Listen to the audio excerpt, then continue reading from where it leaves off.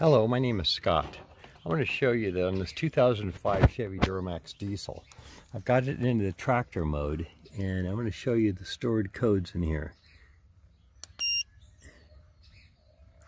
See, it's got the 202, injector number 2, all right? And also, it shows number 3, and then, of course, group um, B2. This is a 2149 code.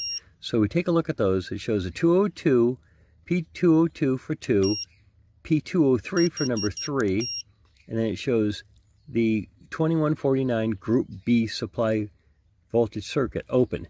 Now I'm going to go ahead and clear those codes.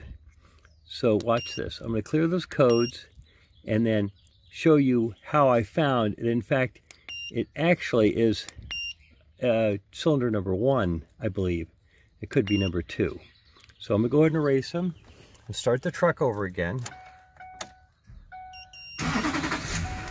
Okay, now it's running okay. The truck's running fine. Go down here. This is Duramax. Put this glove on. Now over in here, cylinders one through number seven. Down in here is cylinders one and three. And watch this, listen to this. If I move these cables,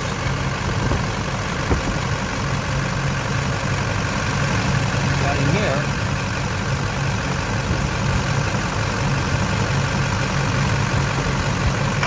There it goes.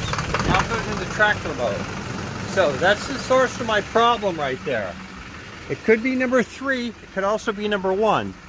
But now that allows me to go in and investigate and pinpoint where I'm getting this uh, this fault and where I'm getting the shorting. Anyway, I thought I'd just thought I'd um, share this with everyone since I've been going through a lot of frustrations on why this intermittently happens. I've replaced probably uh, six of the uh, injector connectors, but it seems like every time I replace a connector, it's the wrong one. So the jiggle test, which this is, seems to be quite effective. Thank you. Well, as it turns out, it is cylinder number one.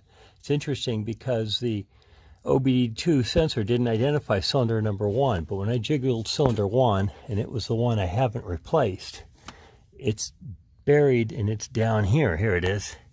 You can see it down in there a little bit. Let me see if I get the camera in there. Oh, here it is. Yeah, right in there. There it is. There it is. That's got to come off and get replaced. That's the one I jiggled. It's been there forever since the original, and that's causing all the faults and causing this intermittent problem. Uh, it's interesting, the jiggle test identified that it was in fact this one and not all the others that the OBD2 sensor may be indicating. So that is key, is jiggle all these connectors before you start um, just guessing at which cylinder it is. Because I did the buzz out test through this component, pulled this connector, and did an ohm reading on all of the um, the other bank of cylinders, and I got good readings on all the ohm tests for cylinders two through number eight. But it's um, apparently cylinder number one that I didn't uh, check, but uh, and it's been an intermittent problem. Anyway, thank you.